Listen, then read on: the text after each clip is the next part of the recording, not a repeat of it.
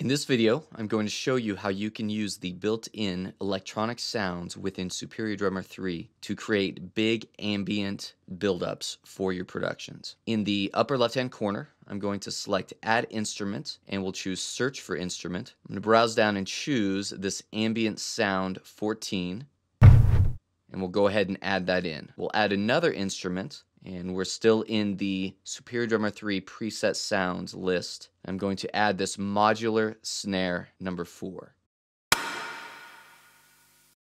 Now both those sounds are big and aggressive sounds and we can manipulate them in a variety of ways to get these big ambient buildups. Now let's go into the mixer and we have our X ambient and X snare channels. And let's go ahead and start adding effects to manipulate the sound. We'll start with the ambient sound. So this is the ambient sound number 14. And first we'll add a spring reverb and I'll go ahead and make a few adjustments here. I've added pre-delay. We are turning down the brightness knob just a bit. We turn down the tension all the way and we are increasing the wet knob.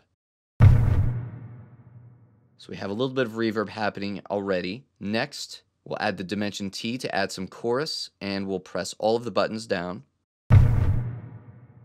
We're going to add another reverb effect. We'll use the Hall reverb. And I'll make quite a few adjustments here. I'll actually turn down the reverb time just a bit. We will not use a pre-delay, but I'm going to increase the size to 100%, increase the shape just a bit, and increase the diffusion and the high knobs all the way. And then we will increase the dry-wet mix to 45%. So this will add a lot of reverb to the sound.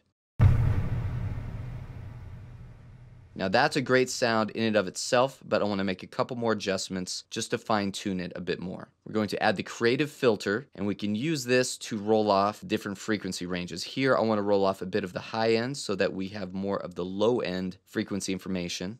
And I could adjust this any way I want.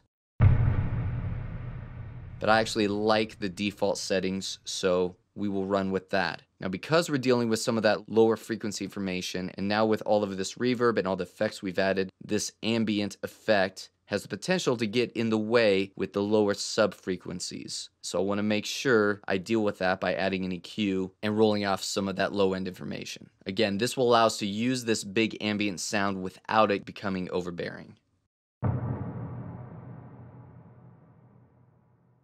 Let's go ahead and move on to our second sound, which is the modular snare number four.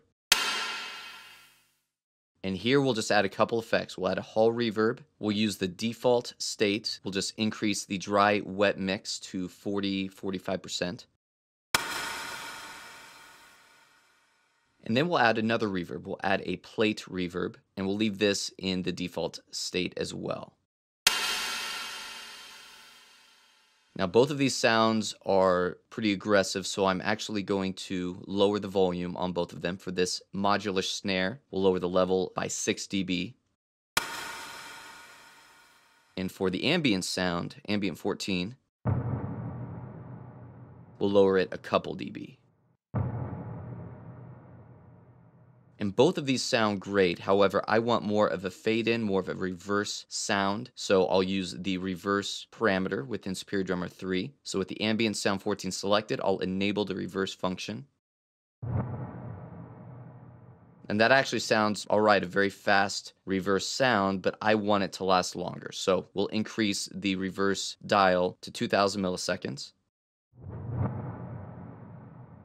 And now we have a very long and interesting sounding ambient reverse sound. Let's move on to the snare drum. We'll make a few adjustments here. The first thing I want to do is change the tuning and we're going to bring it down quite a bit so we have a much lower pitched modular snare sound which actually sounds great with all of the reverb effects that we added. Next, we'll go ahead and do the reverse effect and we'll max this out at 2000 milliseconds, just like we did with the ambient 14 sound.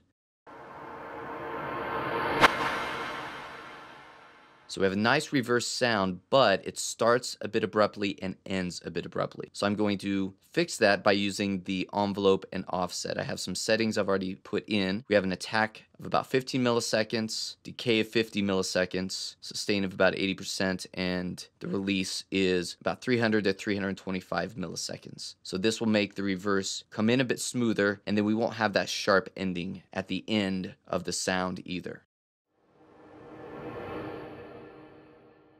So we have a nice swell in, nice decay, enhanced by the effects that we added in the mixer. So there's a couple ways that you can use the built-in electronic sounds within Superior Drummer 3 and utilize some of the mixer effects and the envelope, tuning, and reverse parameters to create big ambient sounds that you can use for build-ups within your productions.